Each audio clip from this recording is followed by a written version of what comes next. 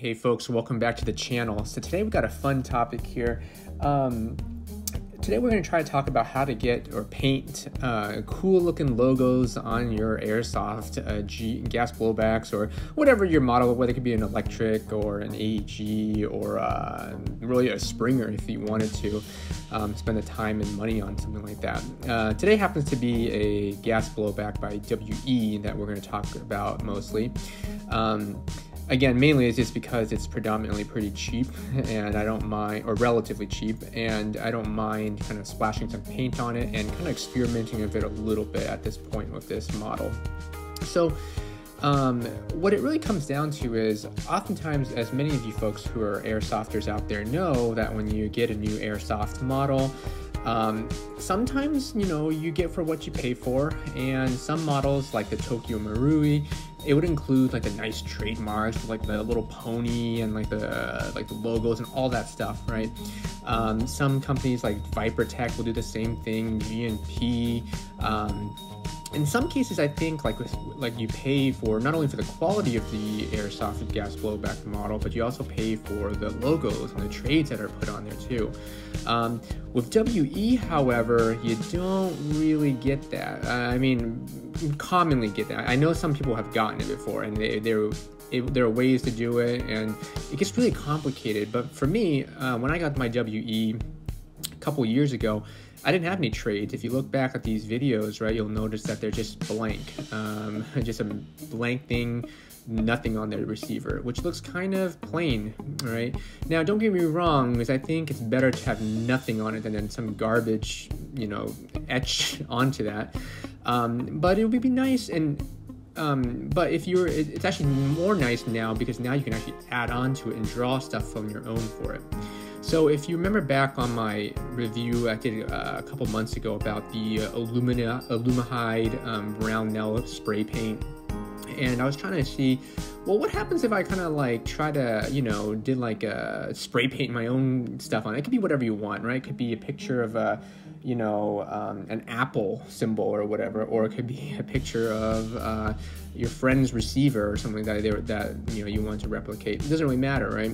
Um, in that photo right there, right, I basically try to take a good old Play-Doh and try to like roll it onto um, the receiver of a GNP.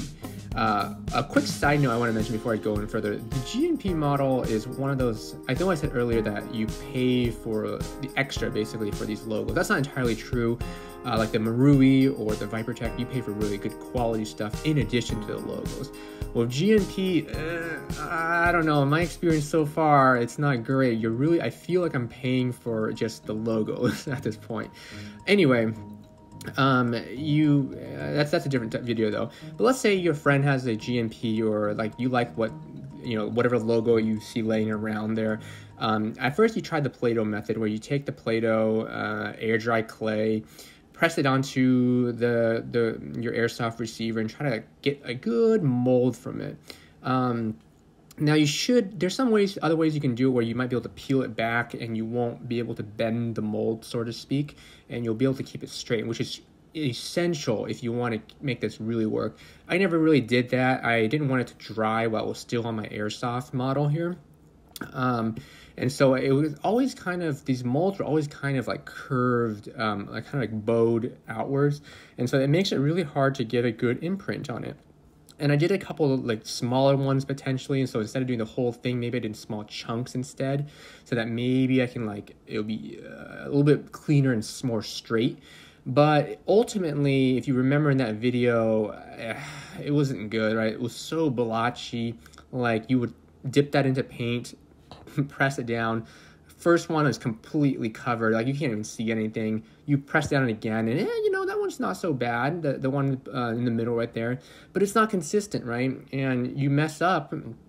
Anytime you mess up, and then like you know, it's it's going to ruin your whole receiver, right? You you've spent all this time painting it, and now you got to do it over again. So it's not a very practical thing where you're in some ways you're kind of relying on luck uh, to get it and ultimately i kind of got so frustrated at, you know i just left it you know as it is right you see in this photo here which was the best that i ever was able to get it on the receiver yes there were some photos that looked nice you know on a sheet of paper um, but I was never able to capture, be lucky and capture that imprint onto the the GBB model here, which is unfortunate. So this is just not practical and not a good way to do things. But then I found another way. Right? At first, I was going to try the same imprinting method, but with aluminum foil instead, and kind of try to do the same stamping again.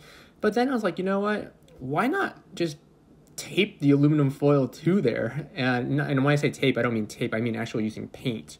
So what you basically can do is essentially take aluminum foil. Uh, so if your friend has a you know a receiver, one of the higher end receiver that you want to copy, and if they're okay with it, right?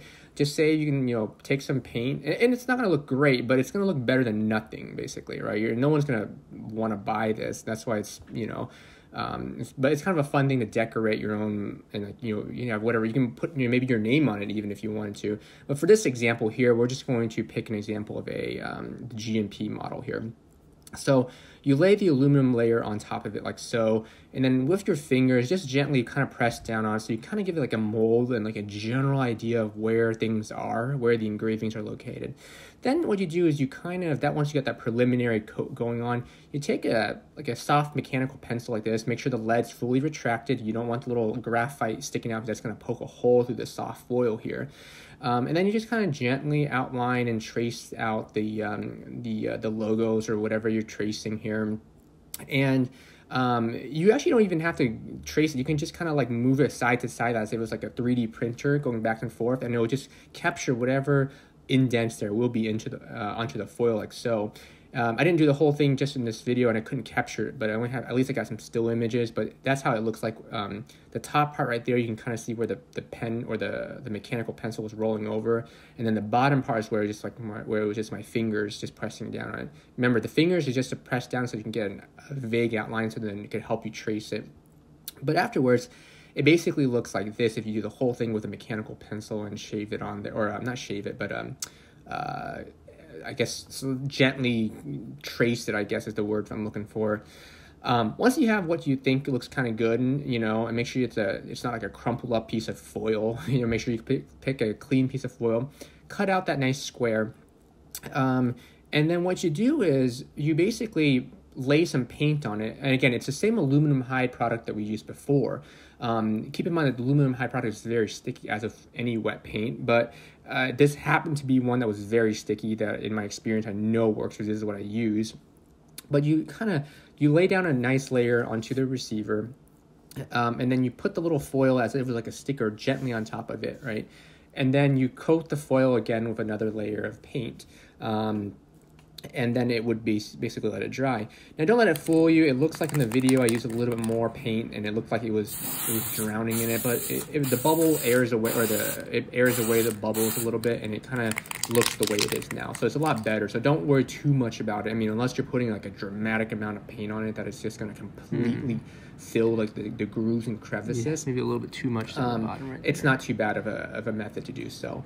Um, so then the question was like, well, how does it hold up? You know, it looks after it dries, it looks pretty nice, I think, actually. And so to this day, it looks like this. And granted, I don't like toss it around like a whole lot, right? I'm mostly I, I don't play any any airsoft games or anything like that. I know a lot of folks have like equipment on their body or the person, and so they kind of bumps it around a little bit.